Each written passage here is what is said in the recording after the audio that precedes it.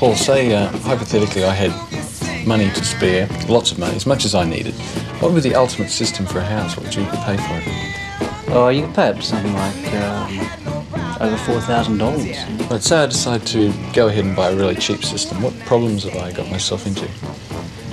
Well, with the um, the cheaper systems, you're going to find not only have you got poor sound, poor reproduction, uh, but more often than not, you've got a very poor service backup.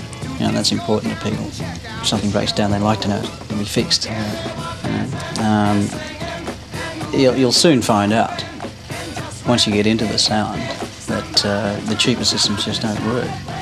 You know, they ruin the records for another thing.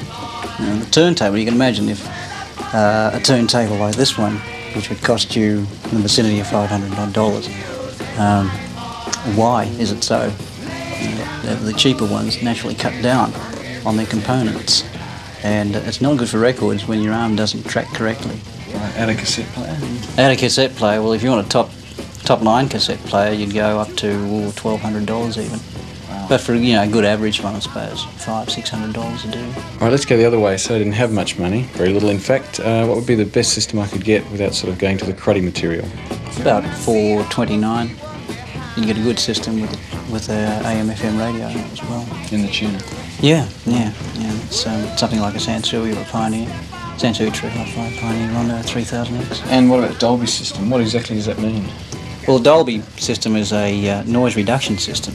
You know, in all tapes, and especially running at a low speed, uh, you've got a lot of tape hiss that's inherent in the tape itself.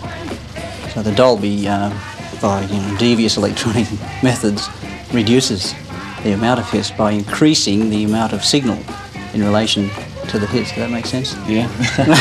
we'll accept that. And the cassettes themselves, you can get sort of quite a different variety of cassettes for prices. Yeah. Um, what do you lose by buying a cheap cassette?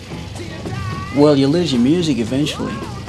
um, you know, the cheaper ones, you know, your, your nine dollar, uh, sorry, your ninety-nine cent uh, El Cheapo cassette will rub off on the head. You know, the, the tape passes across the head, and the oxide rubs off on the head. It gums up your head. You lose. You know, people complain, come in complaining about loss of high frequency, and you'll find mostly it's from using cheaper cassettes with dirty heads. What makes a good speaker? A speaker should reproduce all the sounds fairly evenly. That's the low sounds, middle sounds, and high sounds.